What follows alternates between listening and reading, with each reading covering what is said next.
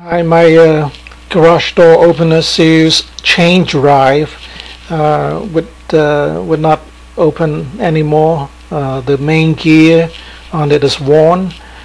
Uh, you can replace it yourself uh, if um, you installed it yourself to begin with.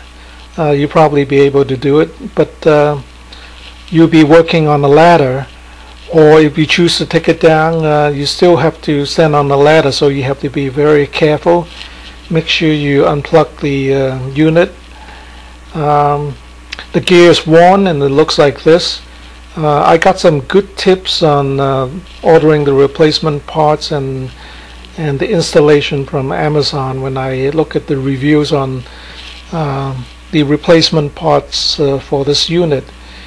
Uh, I chose to replace the whole um, gear with the shaft instead of just replacing the gear. It's about $25 but I think it's uh, easier because you'd be taking the whole thing out and just dropping it in.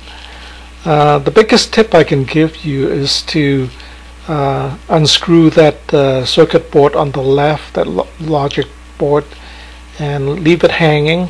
That way you would have room to uh, unscrew the three screws at the top that holds the uh, the sprocket and the gear. You would also have to uh, remove the nylon gear at the bottom of the screen there. There's a little uh, thingy that uh, holds the clip in place, uh, that small gear, and you just detach it and after unscrewing the three big screws uh, at the top that's one of the screws. You can uh, lift the whole thing up and then drop the new one in. But of course uh, you would have to uh, loosen your chain. Now that's the uh, the small gear. And if you were to replace a whole unit all you have to do is to unclip the bottom uh, clip to that small gear there uh, I had to replace the whole circuit board too because uh, um, I was uh, not careful and uh, I shorted out the circuit board and I had to order one online uh, from um, eBay. It's about $20 so uh, if you have a small ratchet wrench like this it's easier to replace. I mean to take off that screw um, the three screws that I was talking about you would have to of course loosen the uh, the chain uh, before you can take the uh, thing off.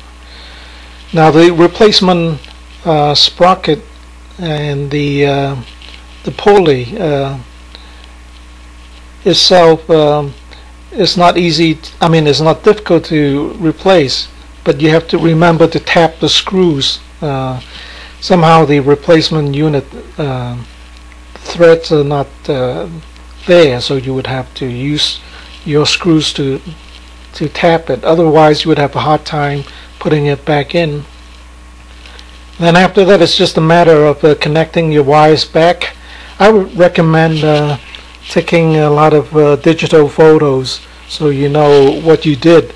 And try not to um, adjust these uh, uh, up or down limit unless you have to um, and then uh, after that uh, you know the thing should work and uh, you would save yourself a few